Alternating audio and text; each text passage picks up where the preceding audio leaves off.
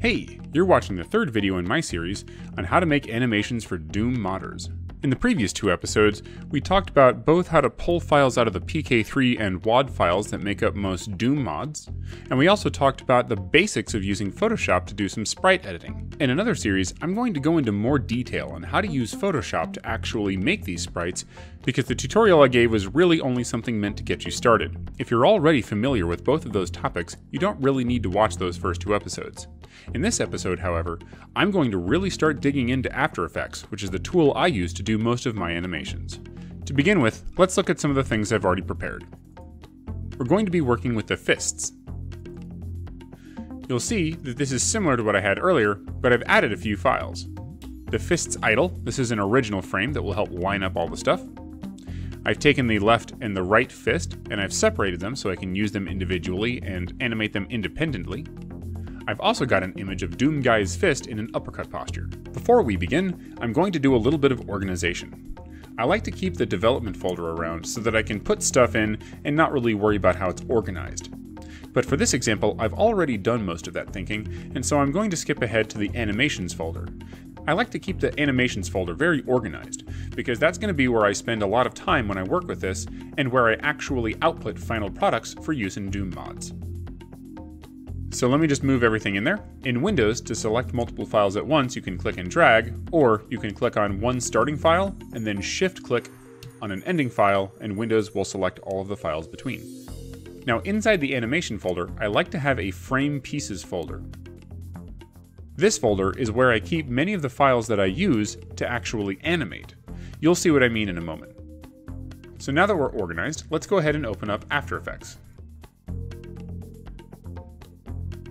And here it is, After Effects. This is where all the magic happens. So just like Photoshop, After Effects has workspaces where you can arrange all of the windows and pieces to fit the needs of the task you're doing. Right now, I have Standard selected. So if you don't see this, then you can simply click on Standard. Or if you're on Standard and it still doesn't look like that, you can right click on Standard and click Reset to Saved Layout. Now one of the first things that I like to do is to clean it up. So in order to get rid of some of the windows I don't need, I could just right click and click on Close Panel. You can also go to Window and uncheck the ones you don't need. I do need the alignment panel. Now I also don't like it being down here, so again, just like in Photoshop, I can bring this up by clicking and dragging, moving it to an edge, and putting it where I would like it to go. It also does not need to take up this much space as the alignment panel is actually rather short. Now, of course, this is just how I do things. Your mileage may vary. Okay, so what are we looking at? This is the Effects and Presets panel. We don't often need content from here, but it's useful to have when we do. After Effects has a number of effects that you can apply to things, and this is where they all live. The alignment has tools to align sprites and things of that nature. The composition panel is kind of what it sounds like. It's going to show you the compositions. In this context, a composition is literally an animation. The project panel is where all of your files are going to be organized. And the timeline panel is where the meat and potatoes of your animation stuff is going to take place. We're going to be spending a lot of time here. Notice how there's a blue outline going around this frame. That's the highlighted frame. Your key commands will change based on which one of these things is highlighted, so please be aware of that.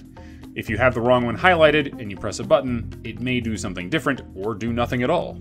Also, if you need to quickly look at a panel in full screen, simply highlight it and hit the tilde key. That's the key that's right next to your 1 key on the keyboard. Looks like a little wavy line. Hit it again to minimize it.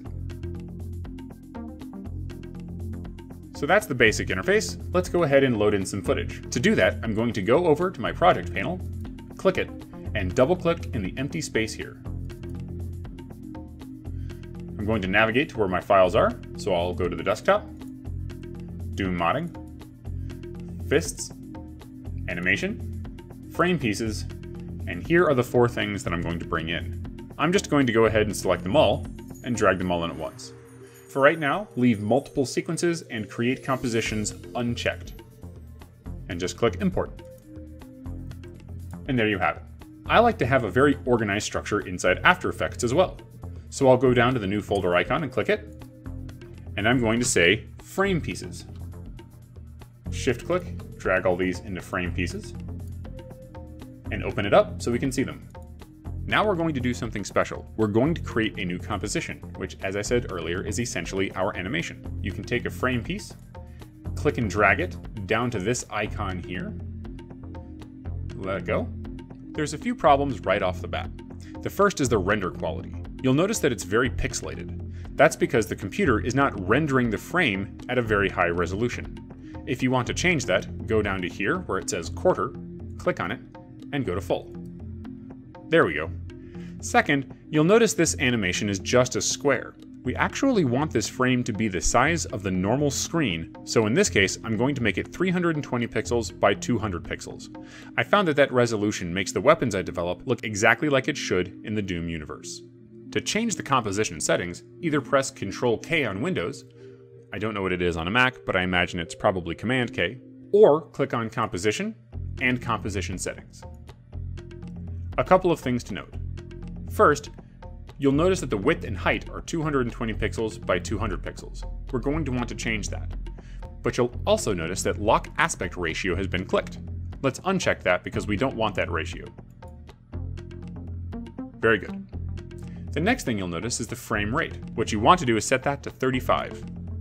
The reason we set this to 35 is because, at least at the time of recording, Doom runs at 35 ticks per second, where a tick is essentially a frame. So if we set the frame rate to 35 here, we should see something very close to what we'll see in the game.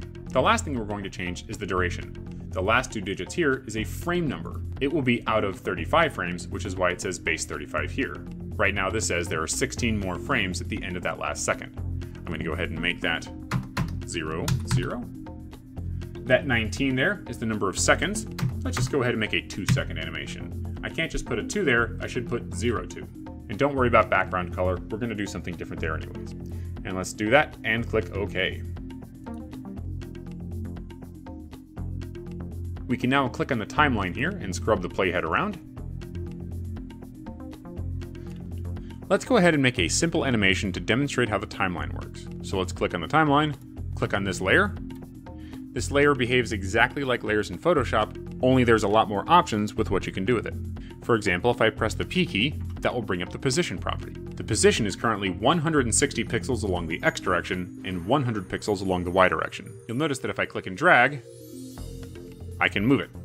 Increasing the Y value pushes it down, which I'll undo here with Control Z, and increasing the X pushes it to the right, which I'll also undo with Control Z. The timeline here has been broken up into frames and sometimes seconds.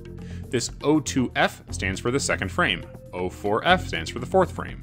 If you want to zoom in or out, simply hold Alt and scroll mouse wheel up or down. The way we animate this is with what are called keyframes. You can think of a keyframe as simply a way of saying, at this exact time, I want this attribute to be this value. So for example, if I wanted to keyframe the position, I can simply click on the stopwatch icon here, and that will add a keyframe. You'll notice that if I move the playhead off, that there is a diamond. A gray diamond means it hasn't been selected. If I highlight it, it'll become blue. If I want to add a second keyframe, well, I don't want to click the stopwatch icon again, oddly enough. The reason is because if I do that, it destroys all keyframes. That stopwatch icon doesn't necessarily say add a keyframe, it says this is a property that even has keyframes in the first place. Instead, we're simply going to turn this one back on, and we're going to add keyframes manually. So I'll move the playhead back to the beginning, and I'll click on this icon. This says add or remove a keyframe at the current time. So I'll click it, and you'll see I get a second keyframe. Now I can take these two position variables, x and y, and change them for each keyframe.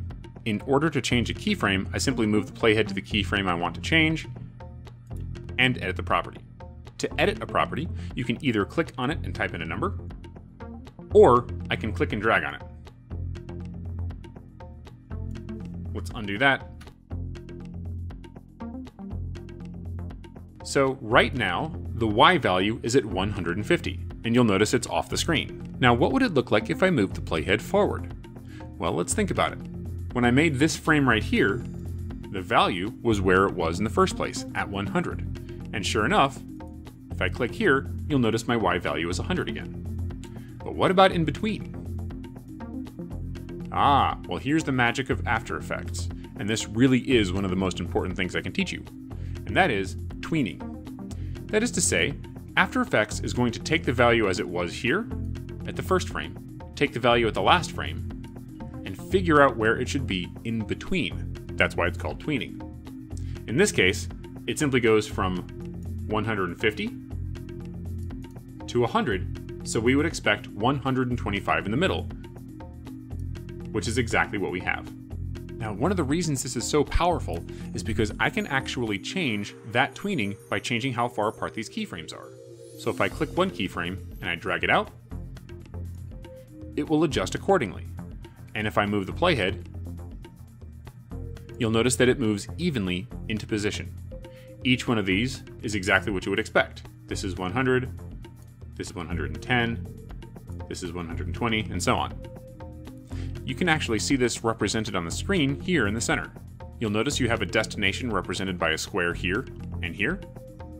You'll also notice you have these little tiny dots. Those each represent the location of a tweened frame. And you'll notice this diamond in the middle. This diamond is the anchor point for this sprite. We'll talk more about anchor points later, but for right now just understand that it's going to be the thing that actually moves, which is why the motion of this looks like it's centered here. As I move the playhead here, you'll notice that diamond moves also. Okay, but what happens after a keyframe? Well, if you go to the last keyframe of an attribute, you'll notice that afterwards it's never going to change again. There's no keyframe telling it where to go, so it's simply going to retain the value that it last sees, which in this case is 100. So if I scrub the playhead, it's not going to change. Now, what properties do we have available to us? Well, we have a couple. Let me close this, and I'm going to click it again, and you see a whole bunch. This is what's called the transform effect, and all of the sprites you're going to add will at least start life with this. It has a couple of simple controls for you.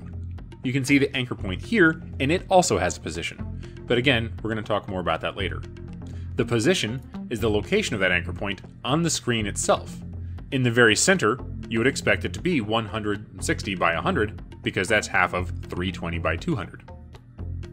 You'll also notice the scale here is set to 100% and 100%, and it's also got this little icon next to it, which means they're linked. Normally, if I click on this attribute and drag, it'll change one and the other at the same time. Let's undo that. But if I click on this link icon, they'll no longer be linked, and so I'll only be changing the X attribute in this case. Let's undo that. The rotation is what you would expect, except there's a few other details. Because this is a timeline animator, you want to go more than just 360 degrees, because, for example, you may have something rotating more than once on a screen. So in order to represent this, there are two numbers. The first number is how many times you've done a full rotation. The second number is how many degrees you have in that rotation. So if I click on the first one, nothing's going to change because I'm rotating it 100 times 360 degrees, which means it's not changing. Let's go ahead and undo that. But if I change the number of degrees, that will be visible. You'll also notice that this is rotating around the anchor point. The last thing you can change is the opacity. That's how opaque it is. At 100%, it is completely opaque, that is to say, completely visible. If I click this and lower it down to zero, you'll notice it becomes invisible. We're going to use this very often, but we're generally going to be either turning something on or off, so we're either going to be going between 0 and 100% or vice versa. So let's go ahead and undo that. So let's delete these keyframes. You want to be careful here, because where you delete them will determine the value that's left over. For example, if you delete them right now, the x and y values will be 160 and 100. This is pretty much what we want. However, let's see what happens if we make a mistake. I'm going to undo that. And I'm going to move the playhead to the first frame. If I delete them now, you'll notice that it retains the value that it had at that keyframe. In this case, the Y value is 150, which means it's off the screen, and this isn't what I want. Take this as a lesson that I've had to learn many times. Put the playhead where you want it, and then delete the keyframes. If you make a mistake, however, just hit Ctrl Z, put the thing where you want, and hit delete. Boom, fixed. So that's going to wrap it up for this video. This was just an introduction to the layout of Adobe After Effects. In the next video, I'm going to go into the actual animation process and show you the way I create an uppercut. Thanks for watching!